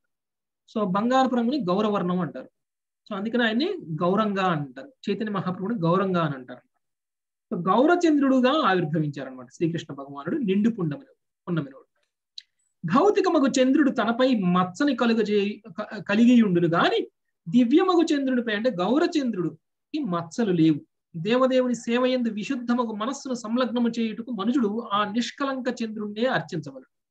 అంటే కృష్ణుడి మీద ప్రేమ పెరగాలి అని అంటే మనం అర్చించాల్సింది ఎవరిని అని అంటే గౌరచంద్రుణ్ణి. ఎవరు గౌరచంద్రుడు అంటే? చైతన్య చైతన్య మహాప్రభు. రజోగుణ స్వభావులు లేదా భౌతిక వికాసానికై తమ మేధస్సును ప్రదర్శించు వాళ్ళు సాధారణంగా బ్రహ్మదేవుణ్ణి అర్చిస్తారు అంటే ఇప్పుడు బుద్ధి అనేటువంటిది ఆవిర్భవించిన తర్వాత దానికి అధిష్టాన దేవత అయినటువంటి బ్రహ్మదేవుడు ఆవిర్భవించారు. అందుకనే బ్రహ్మదేవుడు రజోగుణానికి అధిష్టాన దేవత. సో రజోగుణ స్వభావులు కూడా బ్రహ్మదేవుణ్ణి అర్చిస్తారు. అంటే రజోగుణ స్వభావంలో ఉన్నటువంటి వాళ్ళు ఎలా ఉంటారు అంటే భౌతిక విశ్వంలో ఉన్నటువంటి ప్రతిదీ నాకే కావాలి అనేటువంటి భావనలో ఉంటారు. అందుకనే బ్రహ్మదేవుణ్ణి అర్చించి వరాలు పొందినటువంటి అసురులు ఎవరైతే ఉన్నారో వాళ్ళందరూ కూడా రజోగుణ ప్రభావంలో ఉన్నారు. చూస్తే రావణాసురుడు బ్రహ్మదేవుణ్ణి అర్చించి ఆయన వరాలు పొందారు. తర్వాత హిరణ్యకశిపుడు బ్రహ్మదేవుణ్ణి అర్చించి వరాలు పొందారు. అంటే రజోగుణ స్వభావంలో ఉన్నటువంటి వాళ్ళు బ్రహ్మదేవుణ్ణి అర్చిస్తారు. రజోగుణ స్వభావులు లేదా భౌతిక వికాసానికి తమ మేధస్సును ప్రదర్శించు వారు సాధారణంగా బ్రహ్మదేవుని అర్చించారు. దేహాత్మ భావనను కలిగి ఉండేటి తమోగుణ స్వభావులు శివుణ్ణి అర్చించరు హిరణ్యకశిపుడు మరియు రావణుడు వంటి లౌకికులు బ్రహ్మదేవుని లేదా శివుని అర్చించారు. కానీ కృష్ణ భక్తి భావన ఎందున్నటువంటి ప్రహ్లాదాది భక్తులు పూర్ణ పురుషోత్తముడు శ్రీకృష్ణ భగవాన్ని అర్చించారు. అదే డిఫరెన్స్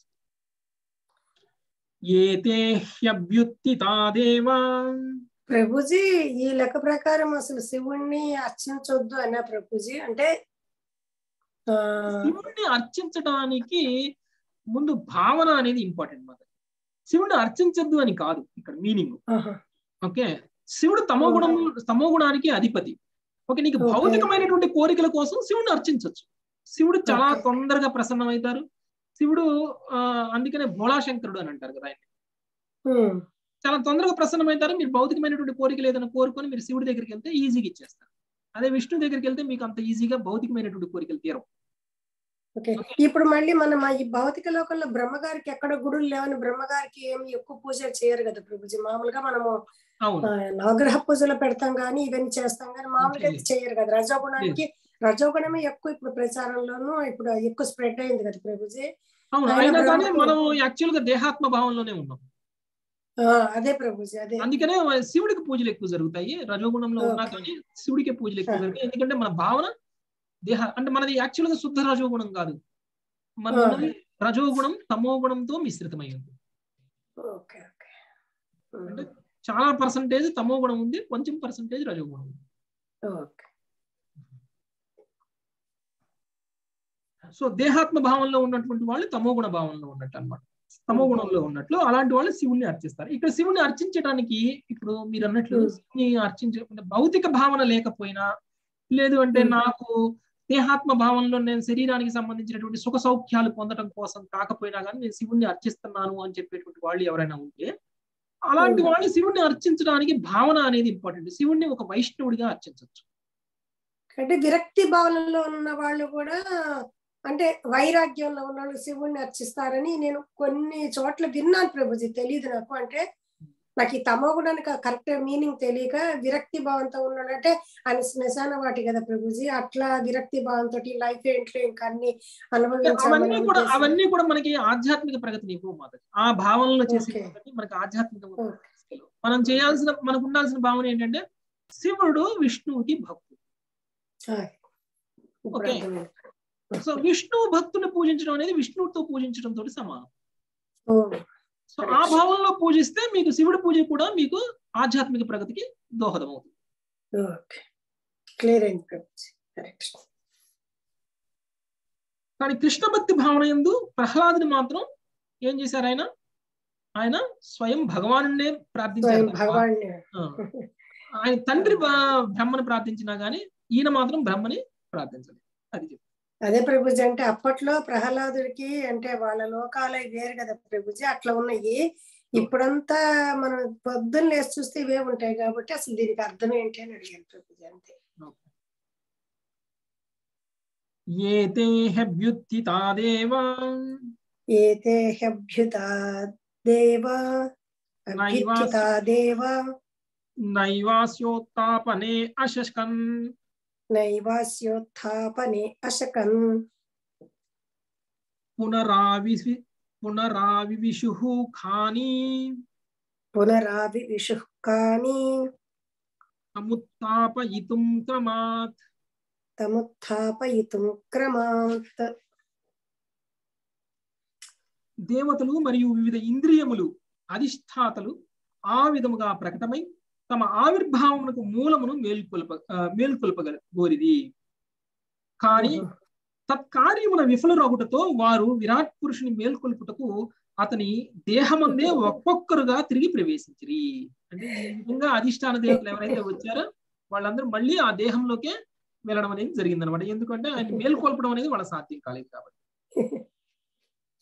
అంతర్మందు ఉన్నటువంటి అధిష్టాన దేవతలను మేల్కొల్పుట మనుజుడు ఇంద్రియ కర్మలను బాహ్య ధ్యానము నుండి అంతర్ధ్యానములకు మళ్ళించవలెను విరాట్ పురుషుని మేల్కొల్పుటకు అవసరమగు ఇంద్రియ కర్మలు రాబోవు శ్లోకం నందు చక్కగా వివరించబడింది. అంటే ఇప్పుడు ఏవైతే ఇంద్రియాలు ఉన్నాయో అవన్నిటిని అంటే ఇప్పుడు ఇక్కడ మనం అర్థం చేసుకోవాల్సింది ఏంటి అంటే మనము మనం భగవంతుడు యొక్క ధ్యానం ఇప్పుడు మనం ఎందుకు. ధ్యానం అనేది చేస్తాం అని అంటే మన యొక్క చేతనాన్ని బాహ్య విషయాల. నుంచి ఉపసంహరించి మన అంతరంలోకి తీసుకెళ్ళడం కోసం అనేది ధ్యానం. అంటే ఇంద్రియాల ద్వారా బాహ్యంగా చేసేటువంటి కర్మలతోటి మనం మన మన యొక్క చేతనాన్ని భగవంతుడి దగ్గరికి తీసుకెళ్ళలేము. భగవంత్ చేతనంలోకి తీసుకెళ్ళలేము. కాబట్టి ధ్యానంలో ఏం చేస్తామంటే మనం లోపలికి కాన్సన్ట్రేట్ చేస్తాం. ఎందుకంటే మొత్తం లోపలే ఉంది కాబట్టి. పరమాత్మ లోపలే ఉన్నారు కాబట్టి. ఓకే? సో అందుకనే ఇప్పుడు ఏవేవైతే ఇంద్రియాలు భగవంతుడి యొక్క విరాట్ రూపం నుంచి వచ్చాయో ఆ ఇంద్రియాలకు అధిష్టాన దేవతలు ఎవరైతే ఉన్నారో వీళ్ళందరూ కూడా. భగవంతుడిని తెలుసుకోవాలి అని అంటే మళ్ళీ లోపలికి ప్రదర్శన లోపలికి. చూడాలి. అయితే ఎలాంటి ఇంద్రియ కర్మల ద్వారా భగవంతుని తెలుసుకోవచ్చు అనేటువంటి విషయాన్ని ఈ శ్లోకాల్లో నెక్స్ట్ శ్లోకాల్లో వివరిస్తున్నారు అనమాట ఆపుదామా మాతాజీ ఇంకొక ఒకటి రెండు శ్లోకాలు చదువుదాం ఇంకొకటి రెండు చదవండి ప్రభుజీ ఎంత అయింది ఎయిట్ థర్టీ ఉన్నాయి ప్రభుజీ నైన్ అని నైన్ సారీ వహ్నిర్వాచా ముఖం భేజే మన్హిర్వాచ ముఖం భేజే నోదతిష్ట తథా విరాట్ నోదతిష్టతా విరాట్ గ్రాణేన నాసికే వాయుర్ జ్ఞానేన నాసికే వాయుర్ నోదతిష్ట తథా విరాట్ విరాట్ అగ్నిదేవుడు అతని ముఖమునందు వాగీంద్రియముతో పాటు ప్రవేశించినను విరాట్ పురుషుడు మేల్కాంచలేదు పిదవ వాయుదేవుడు నాసిక రంధ్రములోనికి ఘ్రాణేంద్రియముతో ప్రవేశించినను అయినను విరాట్ పురుషుడు లేవలేదు. అక్షిణీ చక్షుషాదిత్యోన్. అక్షిణి చక్షుషాదిత్యో ఓదతిష్ట తథా విరాట్ నోదతిష్టత్తదా విరాట్ శ్రోణ్రేత కర్ణౌ చ దిశౌ. శ్రో- శ్రోత్రే చ కర్ణో చ దిశో నోదతిష్ట తథా విరాట్ నోదతష్టత్తదా విరాట్ సూర్యదేవుడు నైనేంద్రియములతో విరాట్ పురుషుడి చక్షువుల ఎందు ప్రవేశించను. అయినను విరాట్ పురుషుడు మేల్కాంచలేదు. అదే విధముగా దిక్పాలకుడు శ్రవణేంద్రియములతో అతని కర్ణముల ఎందు ప్రవేశించినను అతను మేల్కొనలేదు. త్వచం రోమ భీరోషధ్యో త్వచం రోమ భిరోషద్యో నోదతిష్ట తథా విరాట్ నోదతష్టత్తదా విరాట్ రేతసా శిష్టమాపస్తు రేతసా శిష్ణమాపస్తో నోదతిష్ట తథా విరాట్ నోదతిష్టత్తదా విరాట్ త్వక్కు మరియు ఔషధుల అధిష్టాన దేవతల రోమములతో పాటు విరాట్ పురుషుని చర్మమునందు ప్రవేశించినను అతడు లేవలేదు. జలదేవత రేతస్సుతోనూ విరాట్ పురుషుని ప్రణేంద్రియముల ఎందు ప్రవేశించినను అయినను అతడు మేల్కాంచలేదు గుధం మృత్యు రస రపాసేన.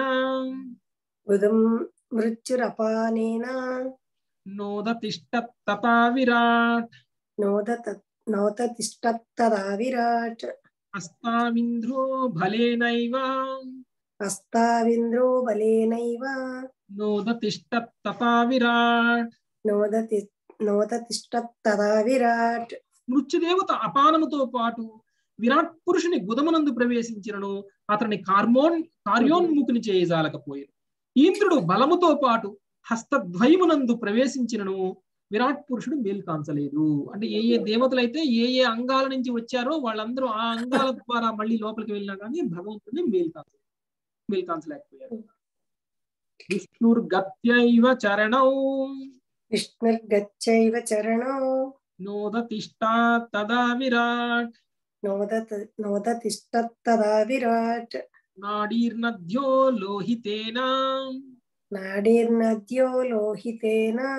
నోదతిష్టా తథా విరాట్ నోదతిష్టత్తదా విరాట్ విష్ణువు గతిశక్తితో అతని చరణ మధ్యమున ప్రవేశించను. అయినను విరాట్ పురుషుడు నిలువ నిరాకరించను నదులు ఆ విరాట్ పురుషుని రక్తనాడుల యందు రక్తముతో పాటుగా ప్రవేశించినను అతను లేపలేకపోయెను. క్షుత్రుభ్యాముదరం సింధూర్. క్షుత్రుభ్యాముదరం సింధుర్. నోదతిష్ట తథా విరాట్ నోదతిష్టత్తదా విరాట్ ఉదయం మనసా చంద్రో హృదయం మనసా చంద్రోన్. నోదతిష్ట తథా విరాట్ నోదతిష్టత్తదా విరాట్?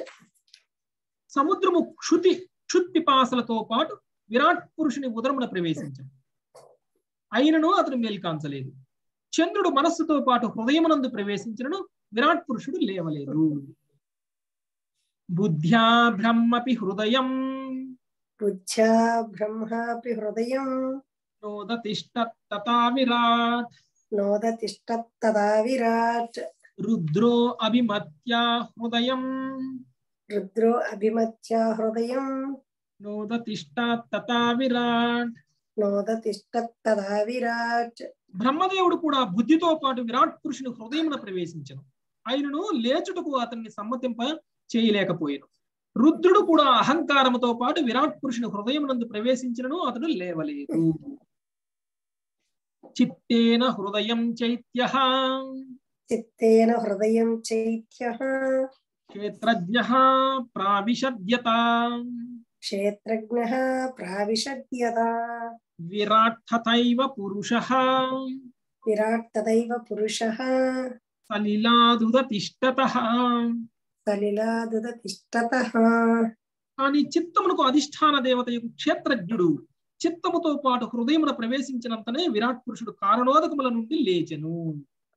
చిత్తమునకు అధిష్టాన దేవత అయినటువంటి క్షేత్రజ్ఞుడు. క్షేత్రజ్ఞుడు ఎవరండి ఇక్కడ? పరమాత్మ. పరమో ఓకే సో పరమాత్మ హృదయంలో ప్రవేశించినంతనే విరాట్ పురుషుడు కారణోదకముల నుండి లేచెను? అంటే అంటే మనలో ఉండేటువంటి చేతన ఎప్పుడు వస్తుంది? మనలోకి పరమాత్ముడు వచ్చినప్పుడు వస్తుంది. యథా ప్రసుప్తం పురుషం. యథా ప్రసుప్తం పురుషం ప్రాణేంద్రియ మనోదియ ప్రాణేంద్రియ మనోధియ ప్రభవంతి వినాయేన ప్రభవంతి వినాయేన నోతాపయితి మోజసా నోత్తాపయిత్ మోజసా మనిషి నిద్రించుచున్నప్పుడు ప్రాణశక్తి జ్ఞానేంద్రియములు కర్మేంద్రియములు మనస్సు బుద్ధి అనడి అతని భౌతిక సంపత్తులు అతన్ని మేల్కొల్పజాలవు. కేవలం పరమాత్ముడు సహాయపడినప్పుడే అతను మేల్కొనగలడు అదండి ఇదే వస్తుంది అనుకున్న ప్రభుజీ ఆన్సర్ అందుకే చదివించుకున్నా. విరాట్ పురుషుడే సమస్త ఇంద్రియములకు మరియు వాని అధిష్టాన దేవతలకు ఆది మూలము అనే భావంలో సాంఖ్యతత్వ వివరణము విస్తారముగా ఇచ్చుట వసగబడినది. విరాట్ పురుషుడు మరియు అధిష్టాన దేవతల నడుమ గల సంబంధము ఎంత జటిలమైనదనగా కేవలం ఇంద్రియముల సంబంధమున. కేవలం ఇంద్రియముల ప్రయోగములచే విరాట్ పురుషుడు మేల్కాంచలేదు. భౌతిక కర్మలతో విరాట్ పురుషుని మేల్కొల్పుట లేదా దేవదేవుని సంబంధమును మేల్కొల్పుట సాధ్యము కానేరు. కేవలం భక్తి మరియు వైరాగ్యముల చేతనే ఎవరైనను భగవానుడితో సంబంధమును పొందగలరు. అంటే మనం భౌతికంగా చేసేటువంటి ఏ కర్మ అయినా సరే భగవంతుడితోటి మనకి రిలేషన్ని తీసుకురాలేదు. భగవంతుడితోటి మనకి వైరాగ్యము భగవానుడితో మనకి సంబంధాన్ని తీసుకురాగలుగుతుంది అని చెప్తున్నారు. లాస్ట్ శ్లోకం అండి అది కూడా చదివి కంప్లీట్ చేస్తాం तमस्मिन् प्रत्यगात्मानम्। तमस्मिन् प्रत्यगात्मानम्। धियायोगप्रवृत्तया धियायोगप्रवृत्तया भक्त्या विरक्त्या ज्ञानेन भक्त्या विरक्त्या ज्ञानेन विविच्यात्मनि चिन्तयेत्। నిరిత్యాత్మని చింతయేత్. ఒక మనుషుడు భక్తితోను వైరాగ్యముతోను ఏకాగ్రమగు భక్తి చే ప్రాప్తమైనటువంటి ఆధ్యాత్మిక జ్ఞానముతోను పరమాత్ముడు ఈ దేహమునందే ఉన్నట్లుగా చింతన కావించవలను. మనలో ఉన్నటువంటి పరమాత్ముని కనుక మనం ఫీల్ అవ్వగలిగితే తెలుసుకోగలిగితే అప్పుడు మనకి చేతనం కరెక్ట్గా వస్తుంది. మనుషుడు పరమాత్ముని తన ఎందే అనుభూతమునొచ్చుకొనగలడు. పరమాత్ముడు అతని దేహమునందున్నను దానికి భిన్నముగా అంటే పరముగా ఉండును. దేహాత్మతో పాటుగా ఒకే దేహమునందు విరాజిల్లుచున్నను ఆ దేహముని ఎడ పరమాత్మునికి అనురాగము ఉండదు. అంటే ఇప్పుడు ఆత్మకి తో పాటు పరమాత్మ కూడా ఈ దేహంలో ఉంటారు. కానీ పరమాత్మ ఈ దేహంలోకి ఎందుకు వచ్చారు అంటే ఏ విధంగా అయితే ఆత్మ ఈ దేహాన్ని ఉపయోగించుకుని భోగించాలి అని కోరుకుంటుందో అలాంటి కోరికతోటి పరమాత్మ మన దేహంలోకి రాలేదు. మనలో చేతనాన్ని తీసుకు వచ్చారనమాట మన ఆత్మకి సరి అయినటువంటి దిశానిర్దేశం చేయడం కోసం పరమాత్మ వస్తారు ఈ ఆత్మను మళ్ళీ తిరిగి ఆయన దగ్గరికి తీసుకెళ్ళడం. కనుక భక్తియుత సేవను ఉనర్చుచు మనుషుడు ఈ భౌతిక దేహ వ్యామోహం నుండి బయటపడవలను. ప్రతి ఒక్కరూ దేవదేవునికి భక్తియుత సేవను ఉనర్చవలను అనుట ఇక్కడ స్పష్టముగా తెలపబడింది. సత్యాని. ప్రథమ స్కంధంలోని రెండవ అధ్యాయం నందు కూడా వాసుదేవే భగవతి భక్తి యోగ ప్రయోజిత అని తెలపబడింది. దేవదేవుడు వ్యాసుదేవుడు విశుద్ధముకు భక్తితో సేవించినప్పుడు భౌతిక జగము పట్ల వైరాగ్యము శీఘ్రమే ఆరంభమగును. మనుషునికి భౌతిక కల్మషము నుండి విడుదలను వైరాగ్యమును కలిగించుటయే సాంఖ్యతత్వపు ప్రయోజనం. శ్రీకృష్ణ భగవానుని వనర్చడి భక్తి యోగము ద్వారా అది వనగూరగలదు. అంటే ఎప్పుడైతే మనం భక్తి యోగం ద్వారా భగవంతుణ్ణి సేవిస్తామో శ్రీకృష్ణ భగవాన్ని సేవిస్తామో అప్పుడు మనకి భౌతికమైనటువంటి విషయాల పట్ల వైరాగ్యం అనేటువంటిది వస్తుంది. లేకపోతే అది సాధ్యం కాదు. మనుషుడు భౌతిక ఆకర్షణ నుండి విడిపడినప్పుడు మనస్సును పరమాత్మనిపై సంలగ్నము చేయగలడు. మనస్సు భౌతికత్వపు వైపునకు మల్లిం మళ్ళించినంత వరకు మనస్సును కానీ బుద్ధిని కానీ దేవదేవునిపై లేదా అతన అతని పాక్షిక ప్రాతినిధ్యమైనటువంటి పరమాత్మునిపై లగ్నము చేసే అవకాశమే లేదు. అంటే ఇక్కడ చూడండి. పరమాత్ముని ఏమంటున్నారు చూడండి. భగవంతుడి యొక్క పాక్షిక ప్రాతినిధ్యం.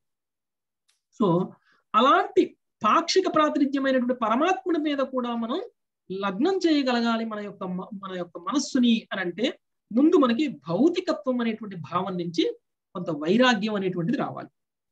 అనగా భౌతిక జగమున ఎడ వైరాగ్యమును పొందనంత వరకు మనుషుడు తన మనస్సును శక్తిని భగవానుడిపై కేంద్రీకరించగలడు భౌతిక జగము పట్ల వైరాగ్యమును పొందినప్పుడు అతడు పరతత్వపు దివ్య జ్ఞానమును నిజముగా పొందగలడు.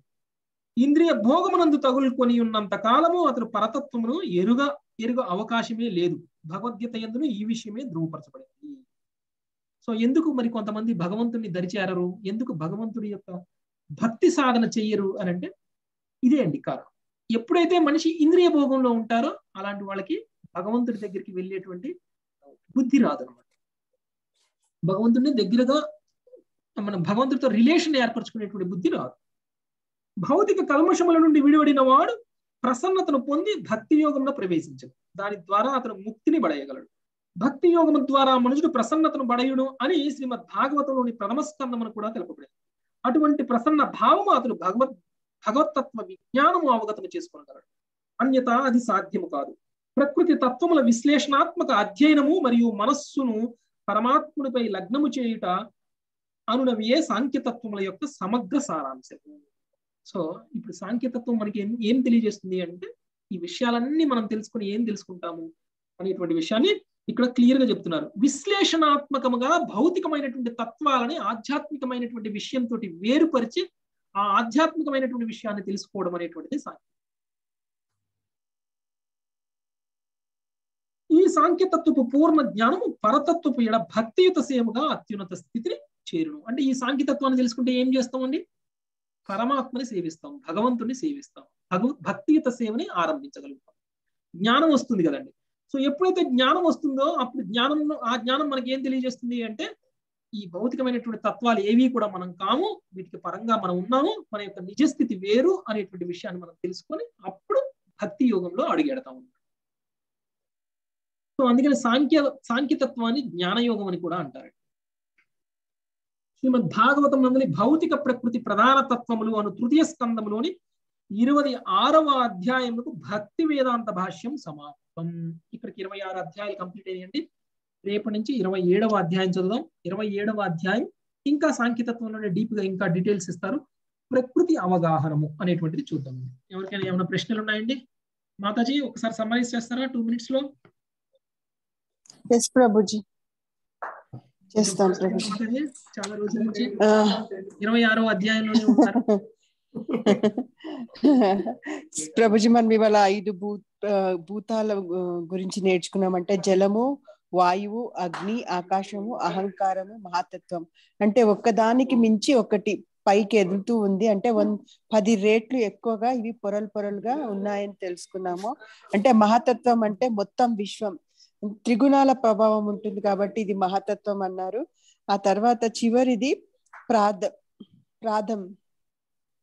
అంటే ప్రధానం. ప్రధానంతో కప్పబడింది అంటే వాటికి త్రిగుణాలు లేవని అర్థం అని తెలుసుకున్నాము? పద్నాలుగు లోకాలలో అంటే దేవాది దేవుడు మొత్తం పద్నాలుగు లోకాలలో విస్తరించి ఉన్నాడు. ఆయన అండాకారంలో ఉన్నాడు అని. అంటే విశ్వం మొత్తం కూడా అండాకారంలో పొరలు పొరలుగా ఉందని తెలుసుకున్నాము. ఇవాళ ముఖ్యంగా విరాట్ రూపం గురించి తెలుసుకున్నాము. అంటే అసలు ఏది కూడా శాశ్వతం కాదు ఏ లోకం కూడా శాశ్వతం కాదు. అయితే ఆత్మ నుంచి పరమాత్మ పరమాత్మ నుండి నిరాకార బ్రహ్మం ఆ తర్వాత బా- దేవాది దేవుణ్ణి వీళ్ళందరినీ తెలుసుకోవాలన్నా కానీ మనము చాలా సిస్టమేటిక్గా తెలుసుకోవాలి. ఎన్ని జన్మలైనా కానీ సాధ్య సరిపోదు. చాలా జన్మలు మనము చేస్తే కానీ మనకి భగవంతుని గురించి తెలుసుకునే అదృష్టం కూడా లభిస్తుంది అని తెలుసుకున్నాము. అదే విధంగా ఆ భగవంతుని యొక్క ఏది శాశ్వతం కాదు. అంటే భగవంతుని యొక్క ఉశ్వాస నిశ్వాసం గురించి కూడా ఈ భౌతిక విశ్వాలన్నీ ఏర్పడ్డాయని తెలుసుకున్నాము. అదే విధంగా భగవంతుడు అంటే ఆ, విరాట రూపము అది కూడా శాశ్వతం కాదు అని తెలుసుకున్నాము. ప్రతి విశ్వంలో కూడా గర్భోదక సాయి కారణోదక సాయి క్షీరోదక సాయి విష్ణువు ఈ విధంగా ప్రతి ఒక్క విషయంలో కూడా వేల కోట్ల విశ్వాలలో కూడా ఉన్నారని తెలుసుకున్నాము. అదే విధంగా మన విశ్వంలో కూడా అంటే మన విశ్వంలో ఉన్న బ్రహ్మకి మాత్రం నాలుగు తలలు ఉన్నాయి వేరే విశ్వంలో ఉన్న బ్రహ్మలకు కూడా చాలా ఉన్నాయని తెలుసుకున్నాము. కానీ భగవంతుని యొక్క పొడవు వెడల్పుని మాత్రం మనం తెలు కొలవలేము. అది మూర్ఖత్వం ఎవరన్నా చేయాలనుకున్నా అనుకున్నాము. అదే విధంగా విరాట్ రూపం యొక్క భాగాలంటే ముఖ భాగం ఫస్ట్ వచ్చింది తర్వాత వాక్కు వచ్చింది. వాక్కుకు అధిష్టాన దేవత అగ్ని అదే విధంగా నాసికా రంధ్రాలు వచ్చాయి. తర్వాత ప్రాణవాయువు శ్వాస కోశాలు వచ్చాయి. జ్ఞానేంద్రియాలు కూడా వచ్చాయి.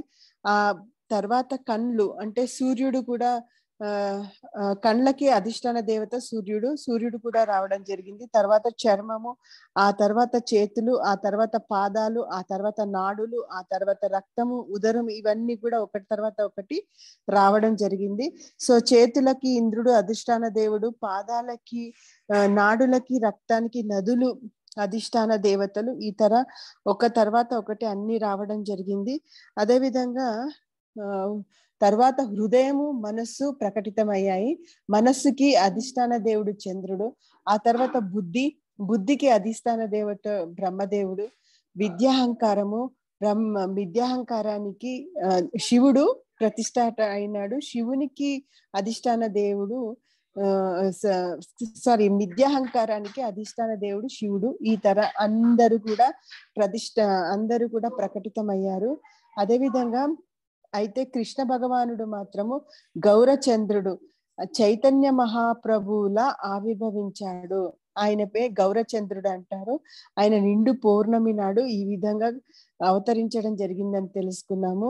అయితే ఆయన ఇవంతా జరిగి వీళ్ళందరూ అధిష్టాన దేవతలందరూ కూడా ప్రకటితమైనా గాని బ్రహ్మదేవుని విరాట రూపాన్ని ఎవ్వరూ కదిలించలేకపోయారు లేపలేకపోయారు. ఫైనలీ పరమాత్మ మా ఆయన పరమాత్ముడు ఆయన హృదయంలోకి ప్రవేశించినప్పుడు విరాట రూపం నుండి భగవంతుడు మేల్కొలినాడని తెలుసుకున్నాం.